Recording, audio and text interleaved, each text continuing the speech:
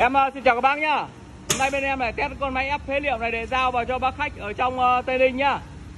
Con máy ép phế liệu này là loạt khung là 650 x 650 Hành trình xi lanh 1m2 Ti của nó là ti 90, vỏ ngoài 150 Hành trình 1m à, m 2 Và bác đã sử dụng cái chạm nguồn uh, 3,5 kW điện một pha 220V nhá.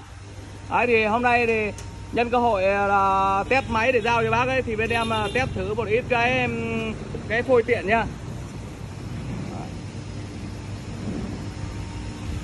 Đấy, bác sử dụng cái chạm nguồn à, điện một pha nên tốc độ nó sẽ hơi chậm.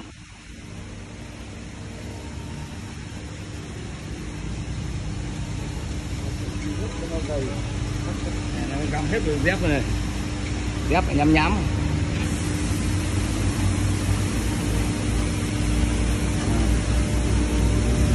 các bác có nhu cầu về các loại chạm nguồn thủy lực xi lanh tiven thủy lực và có nhu cầu chế tạo các loại máy ép thủy lực thì các bác liên hệ bên em nhé Liên hệ bên em theo số 0985 324 456 hoặc là số 0355 557 558.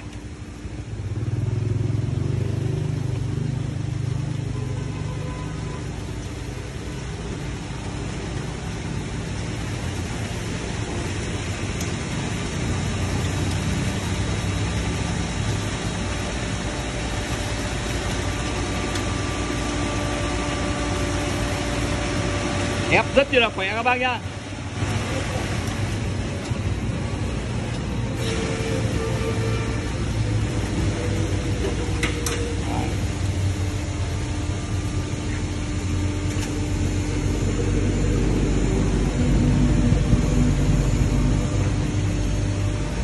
Đấy, ép ờ, như thế này rồi các bác nhá. Ép uh, vo lại thành đống như này nhá Thành khối này rồi. Thì bắt đầu bác uh, là dùng ben để đáy kiện đẩy ra.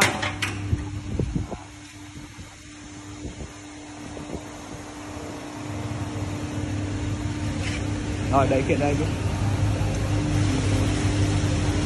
Đấy, ép xong là cái ben đẩy kiện sẽ đẩy ra các bác nhá.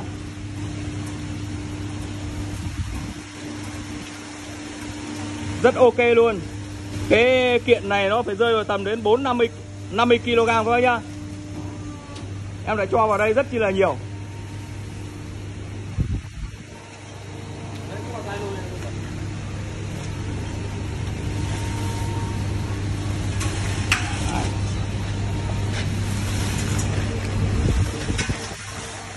Nam mã sắt hộ các bác có nhu cầu về các loại chạm nguồn thủy lực, xi lanh, tiben thủy lực và có nhu cầu chế tạo các loại máy ép thủy lực thì các bác liên hệ bên em nhá. Liên hệ bên em theo số 0985 324 456 hoặc số 0355 557 558. Các bác xem được video thì nhớ ấn cho em xin một nút like và follow đăng ký kênh ủng hộ bên em. Em xin cảm ơn. Đấy. Ngó vậy này thì thôi nhá, nhưng mà để mà nó bùng nhùng ra là số lượng nó rất chi là nhiều các bác nhá. Đấy, bây giờ ép nó thành kiện ra như này này.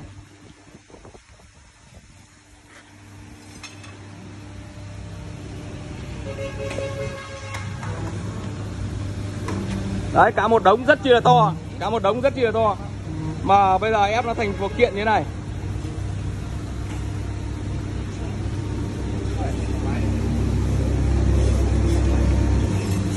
Rồi, rồi hết